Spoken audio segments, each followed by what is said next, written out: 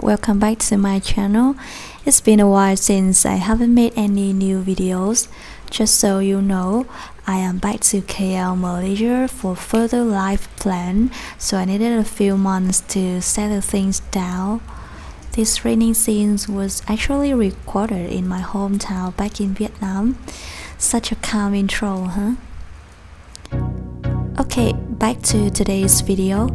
It's another episode of me doing outfit makeover. I have a velvet grey dress with little fish tail band in the bottom part. The size is way too big for me and I also don't fancy this style that much so I'm gonna change it. Let's get started. First of all, I mark on the dress the suitable shape I want my purpose is to make it a bodycon with elastic band on both sides. This material is stretchy, so no worry if you do it a bit tight or loose, since it still can fit you anyway. Let's start the sewing machine. Wow, such a long time no sewing, huh? How is your quarantine going? Pretty chaotic right now all over the world, right? For this one, use the normal seam. Sew it along the market line.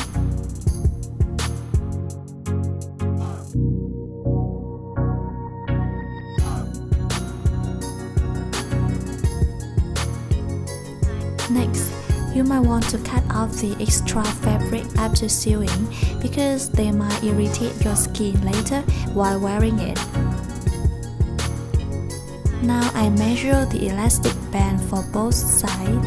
Initially, I just want to sew the elastic halfway of the dress length, but it didn't look that nice, so I changed my mind and sewed the elastic all the way along the bodycon hip side. Because of the quarantine, so I could not go out to buy a smaller elastic band, so this might be a note for you, okay? Use the small elastic band. Don't use this big one as mine.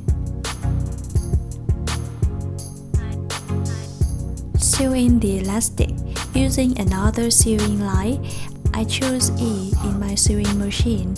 I suggest you not using straight seam because it cannot hold the elastic band that strong compared to other zigzag seams.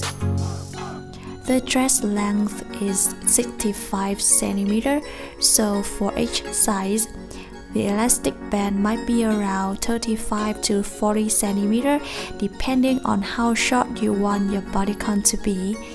Mine is 37 cm for the elastic band length.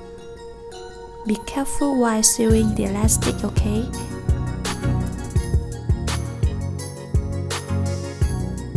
So this is how the seam turns out. It's quite fine though. At first, I still want to keep the bottom as the original design. However, it did not complement the highlight of the dress which is the elastic effect, so I decided to remove it and it does look nicer in the end. Jamie. Now comes to the final step, hem the bottom part of the dress and I am finished. Let's see the final transformation.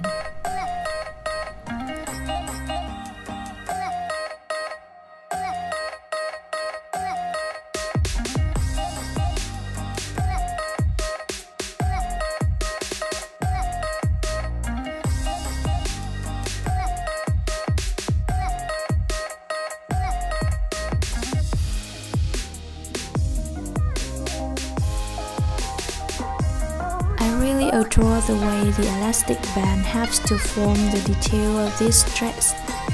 And that effect is even more effective with this kind of velvet fabric. You see that, right?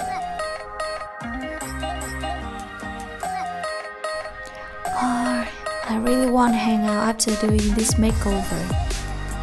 It's alright. I'm gonna do cocktail at home, dressing up myself and enjoy them.